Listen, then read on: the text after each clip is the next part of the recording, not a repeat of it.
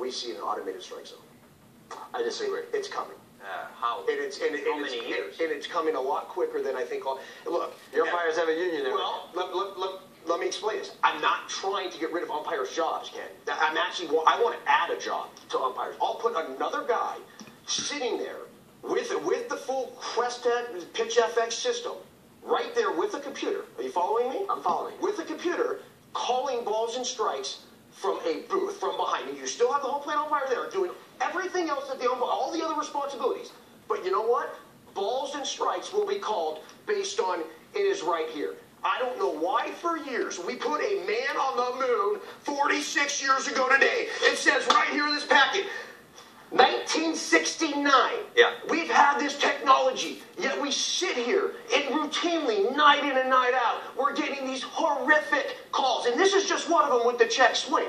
But on balls and strikes, what was going on with Zach Greinke yesterday and Bryce Harper? There were 10 balls well outside the zone, not even touching the plate, not even close to the plate. All due respect to Zach Greinke, who's pitched as well, if not better than anybody in all of baseball all season long. I get it, and that's why he was getting those calls. But that is an injustice. Those balls should have to cross home plate just like they do for Joe Schmo, who's a 26th guy on the roster coming up and down from AAA. I would agree we are trending that way, but it's a long way from where we are now to what you're suggesting. It's coming. That's a quantum leap. It's coming quick. And they're It's and, not coming and- quick. And, I'm adding jobs.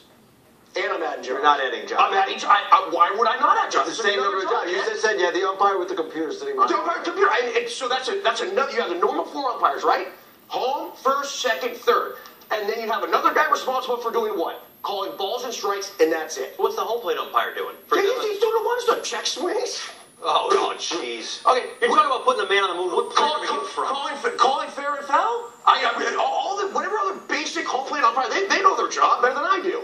But how home, are you- home plate might be an A. It's kind of like a night off. But here's Whatever. the thing: How are you going to do that? Because every, you're going to have I mean, how are you going to do it? It's very Jose easy. Paul. Altuve's strike zone is the same as Joey Votto's strike zone. Now you have to punch up the guy, and go to the computer, Punch up the No, they the can- right here. They can do this. Yes, of It- course it- I believe it is possible, Paul. But at the same time, there have to be, and I can't anticipate them because they're unintended consequences. I don't know if the consequences are, but I would bet there are consequences with this as well. It's coming.